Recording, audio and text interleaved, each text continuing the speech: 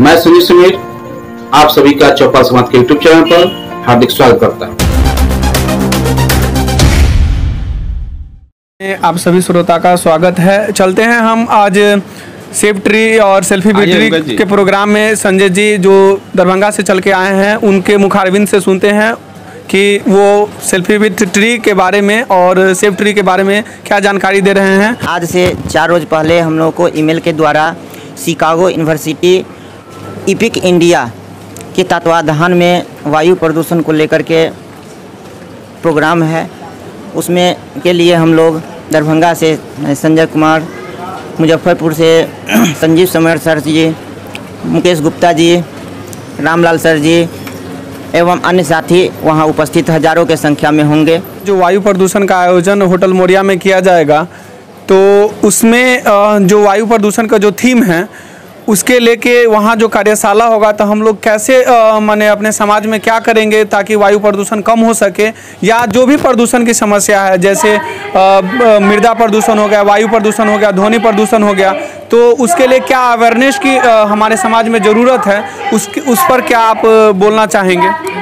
देखिए, हम लोग तो वायु प्रदूषण हो या मृदा प्रदूषण हो या फिर पर्यावरण प्रदूषण हो, काम तो हम लोग एक ही कर रहे हैं। लेकिन खास करके जो आज इपिक इंडिया एवं शिकागो यूनिवर्सिटी अमेरिका का, के तत्वाधान में जो प्रोग्राम है, उसमें हम लोग कुछ सीखेंगे।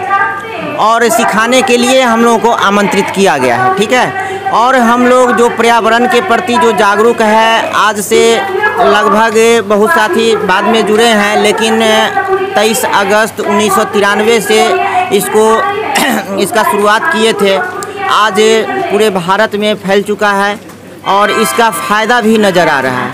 इसमें देखने को मिल रहा था कि भारत सरकार और राज्य सरकार के द्वारा भी मतलब पर्यावरण एवं वन विभाग भी है उन लोगों के पास, लेकिन फिर भी वो लोग सुस्ती बरतते थे।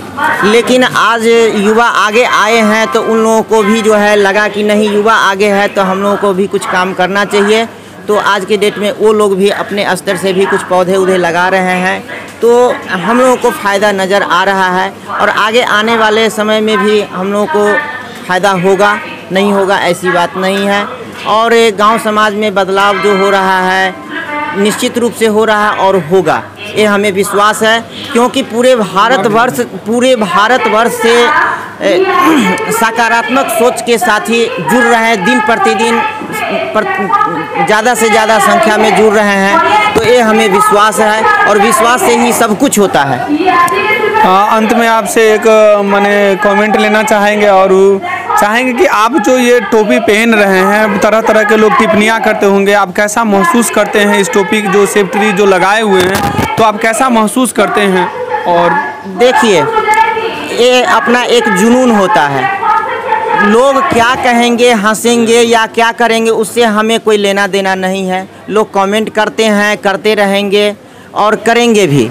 लेकिन आज के डेट में जो आज कमेंट आज आ, आज के डेट में जो कमेंट करते हैं उनको उससे हम लोगों को ऊर्जा मिलती है और वो लोग जितने हम लोगों को प्रताड़ित करेंगे उतना ही हम लोग हम युवा आगे बढ़ेंगे निश्चित रूप से बढ़ेंगे और बढ़ते हैं। एक चीज़ तो और देखने को मिल रहा है कि जब हम लोग पौधा लगाते हैं जब पौधा लगा करके जब देखते हैं कि छोटा सा नन्हा सा पौधा लगाते हैं, जब पौधा लगाने के बाद जब वो बड़ा होता है तो हम लोग को इतनी खुशी मिलती है कि जैसे लगता है कि अगर फीवर हो तो भाग जाता है, बीमारी हो भी तो भाग जाता है, इतनी खुशी मिलती है कि मेरा पौधा लगाया हुआ है। ये अपना जुनून होता है कि मेरा पौधा लगाया हुआ, एक सार्वजनिक स्थान पे लगाया हुआ पौधा और इतना बड़ा हो गया जैसे लगता है कि शरीर में जो बीमारी भी होता है वो भाग जाता है। अब इससे बड़ी बात क्या हो सकती है? और निश्चित रूप से हम भी गौरवान्वित महसूस कर रहे हैं ये टॉपी सेफ्टी का लगा के।